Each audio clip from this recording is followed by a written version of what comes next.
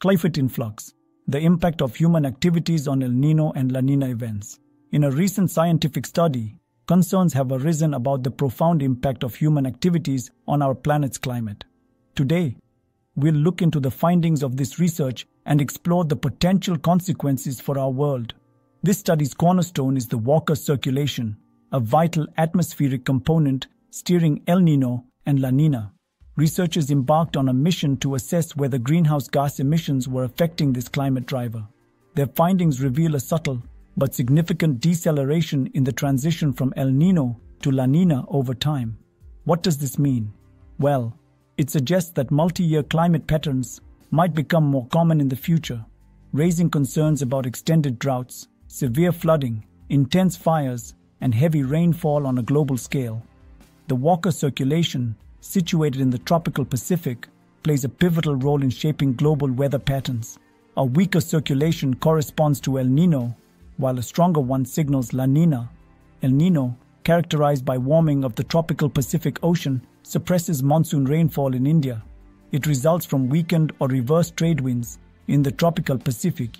In contrast, La Nina involves cooling of the tropical Pacific, aiding rainfall over India.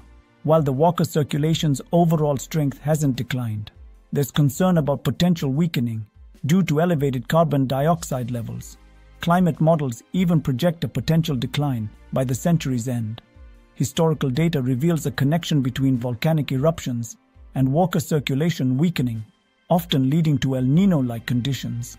Significant El Nino events in the 20th century were preceded by volcanic eruptions, so, what are the potential consequences of more frequent and extended multi year El Nino and La Nina events? These prolonged climate patterns could alter global weather patterns dramatically. Expect more severe extreme weather events, droughts, floods, heat waves, cold snaps, storms, and wildfires across the globe. Agriculture and food security face challenges. Multi year El Nino induced droughts could diminish crop yields, affecting global food supplies and prices. La Nina may enhance crop production, but bring crop damage due to excessive rainfall. Economies and societies bear the brunt.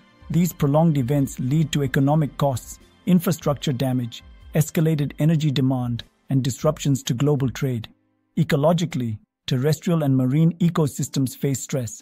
Think of coral bleaching, rampant forest fires, and disruptions to habitat stability. Biodiversity is at risk as environmental shifts affect species survival and distribution.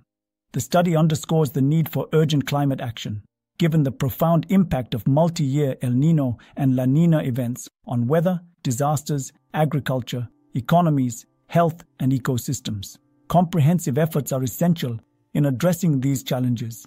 Thanks for joining us.